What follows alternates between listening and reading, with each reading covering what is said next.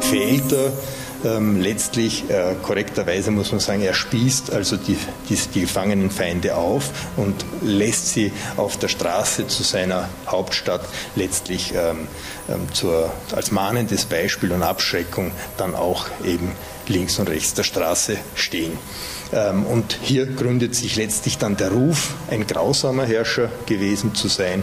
Äh, wir wissen auch aus der Geschichtsschreibung, dass er auch die innere Organisation und den Aufbau seines Landes mit sehr starker Hand geführt hat, dass er also durchaus Feinde frühzeitig äh, beseitigt hat, brutal beseitigt hat, Gegenspieler, Kontrahenten ausgeschalten hat.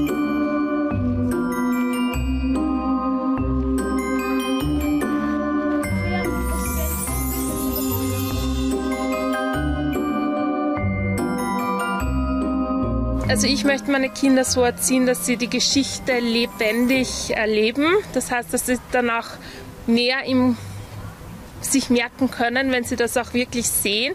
Und ich finde, das ist ein totaler Anlass, in so einer mystischen Burg am Abend die Geschichte über Dracula zu erfahren oder Sagen zu hören.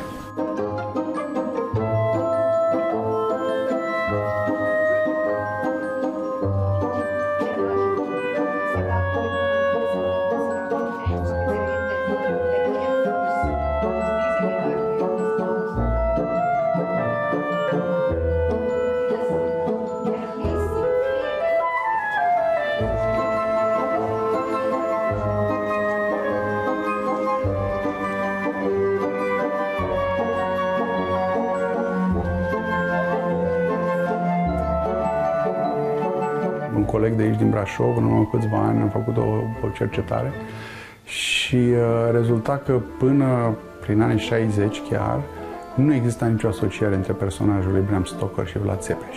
În al doilea rând, asta a fost uh, dezvoltată foarte mult pentru piața occidentală în timpul regimului comunist pentru a atrage turiști. Și aici apare cumva ipocrizia propagandei pentru că în timp ce în țară erau denunțați uh, străinii occidentale care vorbesc despre eroul nostru național ca fiind un vampir, în realitate era un mit uh, promovat intens de, de Oficiul Național de Turism pe piața occidentală pentru a atrage străini în România. E o formă de, de ipocrizie de marketing, să zic așa.